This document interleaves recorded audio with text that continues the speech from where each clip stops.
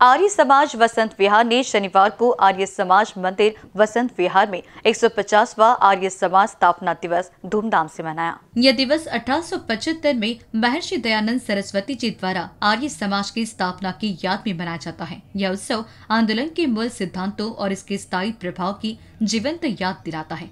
आर्य समाज वसंत विहार ने 150वें आर्य समाज स्थापना दिवस की स्मृति में शनिवार 6 अप्रैल 2024 को एक विशेष कार्यक्रम नूतन वर्ष अभिनंदन समारोह का आयोजन किया, जो हर साल 9 अप्रैल को मनाया जाता है। आर्य समाज वसंत विहार की अध्यक्ष श्रीमती संतोष कपूर ने इस दिन के महत्व पर ज़ोर दिया।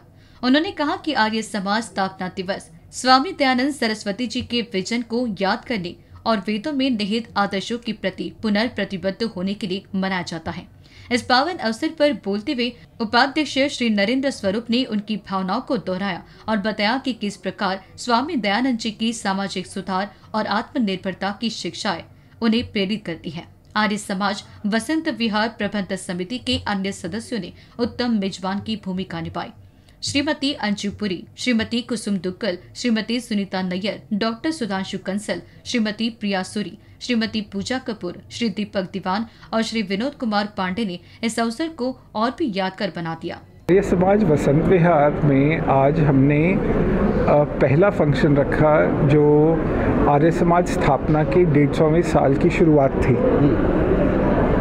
आर्य समाज, वसंत विहार आर्य समाज के सिद्धांतों को आगे पहुँचा रहे युवाओं तक, बुज़ुर्गों तक। उसमें हम अलग अलग कार्य कर रहे हैं। हमारी एक चैरिटेबल डिस्पेंसरी है, हमारा एक वोकेशनल ट्रेनिंग सेंटर है, एक छोटा सा स्कूल है एक बड़ा स्कूल है, जो सारा आर्य समा आर्य समाज के सिद्धांतों पे ही चल रहे हैं। ताकि महर्षि दयानंद ने जो मार्ग दिए हैं, वो लोगों उन्हें समझ सके। जो आर्य आर्य समाज ने जो हमें बताया है कि वे सच्चाई की राह पे चलो जी। वो मैसेज हम बच्चों तक भी पहुंचाना चाहते हैं। और ख़ासकर आज जब आर्य समाज का डेढ़ सौवा साल शुरू हुआ है। हैं? थैंक यू ये 150 वर्ष जो हुए हैं एक बहुत ही ऑस्पिशियस मोमेंट है समाज के लिए। आ, ये एक ऐसा मोमेंट है जहाँ पे हम चाहते हैं कि हमारे देश के यूथ जाने कि समाज के पीछे कौन थे दयानंद सरस्वती के बारे में जाने।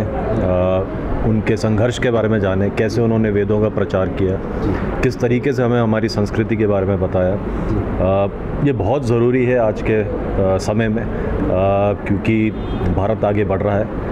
पर भारत को आगे बढ़ने के लिए अपनी वैल्यूज़ पे बढ़ना बहुत ज़रूरी है अपनी संस्कृति पे आगे बढ़ना बहुत ज़रूरी है। और आर्य समाज से बढ़िया कोई संस्था मैं कहूँगा है नहीं क्योंकि ये एक ऐसी संस्था है जो खासकर वेदों पे फोकस करती है।